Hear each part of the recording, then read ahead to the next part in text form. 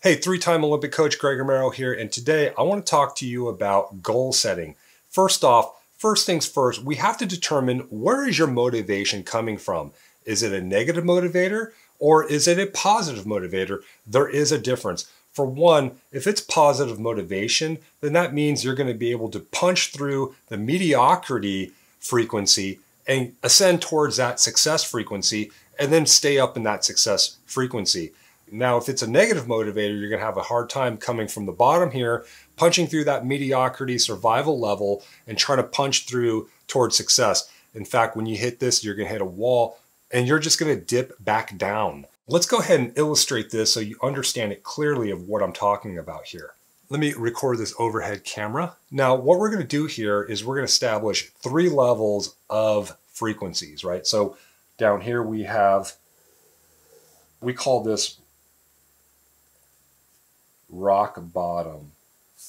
Please forgive my handwriting. Or we can call this um, otherwise known as failure. It, you know, it's it's up to you to determine what that means for you, um, because you're going to have your epiphany and aha moment here. This one here, this is going to be called survival, like what you need, and of course, this can also be known as mediocrity. All right. And then over here, we're going to have this success category. All right. And so what we're looking at here, if we were to start on this axis here, okay, this is our starting point.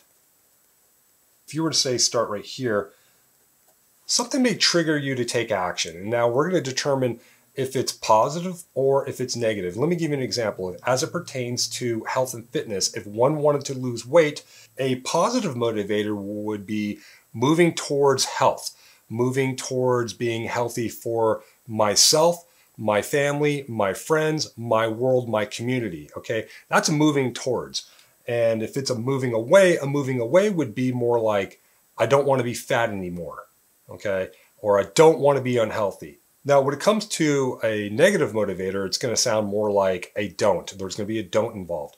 I don't want to be fat. I don't want to be unhealthy. I don't want to be overweight.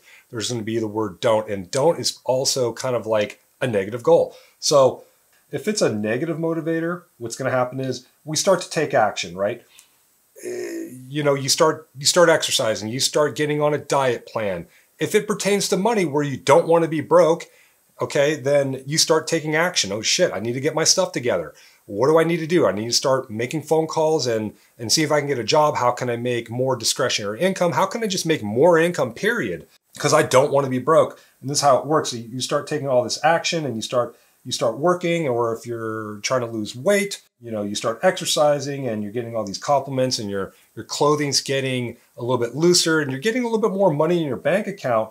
And what happens is if it's coming from a negative motivator, the unconscious mind says, Great, you're no longer fat, right? You no longer are broke. So what happens is your foot lets off the gas pedal and you begin to taper and kind of nose back down into this rock bottom towards failure fairly quickly. And then what's going to happen is same pattern is going to come again. Oh shoot, I'm back to square one. I'm overweight. Well, I don't want to be overweight or I am broke, I'm tired of being broke, I'm going to take action. So you start taking action, start doing the hard things, taking lots of action, and of course, being a negative motivator, you're going to dip right back down as soon as you come over here to survival mediocrity frequency. You're going to nose back down. The key is if you can make it a positive motivator, set your goal to where I want to be healthy. Okay. And you can make that a lifelong aim where it's your North Star and you're always going there and you're always working on spiraling up. And therefore, it's, it's a value, it's a belief, it's I'm always healthy. Okay. And then you start taking action on always making healthy decisions and it works from an unconscious application and then it's always going to work for you.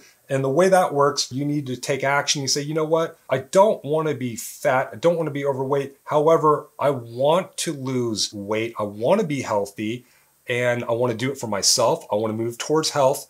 I'm going to invest myself. I'm going to invest for the sake of my family, my friends, and my community. I'm going to do it in a positive manner. And what happens is you keep going, going, going. Of course, it's important for you to set goals. um, that are obviously above this survival frequency here. And so what happens is you can punch right through the survival. All right. And this is where you need to get real specific also.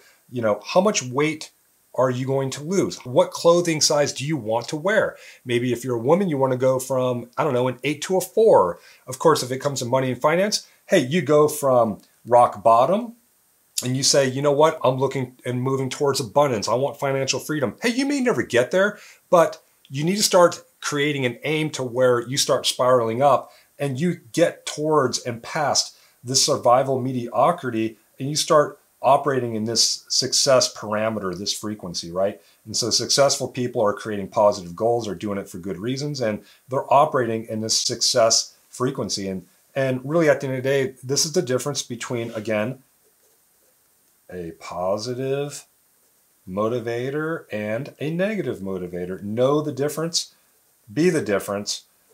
Make sure that you guys have sensory acuity and know where your intentions are coming from. Always question your intentions and say it out loud or write it down on paper, and then read it. Is there a negative motivation out of that or is it positive?